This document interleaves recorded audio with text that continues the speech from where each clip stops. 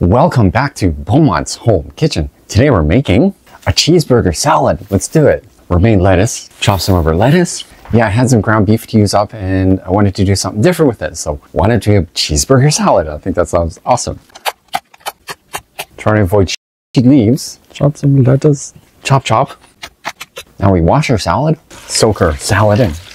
Wash it up. And then we'll spin our salad. Red onion. Chopped onion, nothing fancy. Cherry tomatoes.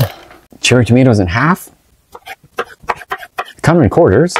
That'll be your pickle spears. Chop. Kind of bite-sized pieces, I suppose. Can't have it without uh, bacon. I never have a burger without bacon. Into the salad spinner. Spin our salad. To the bowl. All right, so I got some mayonnaise in here, got some ketchup, three tablespoons, and I put some dill pickle juice in there, garlic powder, onion powder, Dijon mustard, okay, smoked paprika in there, salt, pepper. This is our salad dressing.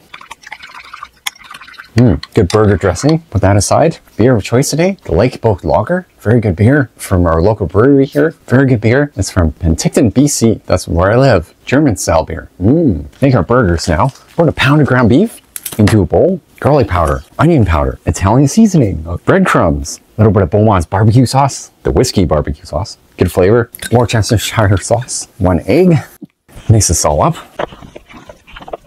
salt, pepper, I guess I call it a bacon cheeseburger salad. Now we form our patties, form them up.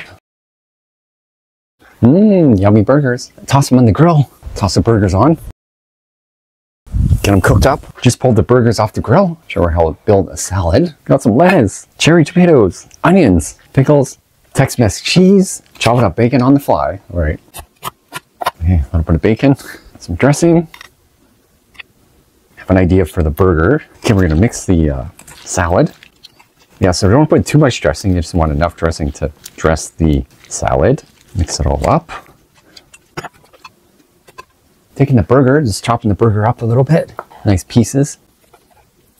Yeah, the burgers were falling apart in the barbecue, so maybe some more breadcrumbs. Burger on top of the salad, and there you have it. Mmm, cheeseburger salad. Give our cheeseburger salad a try. Give it a go. Make sure I get everything in there, the, the meat, the cheese, the pickle.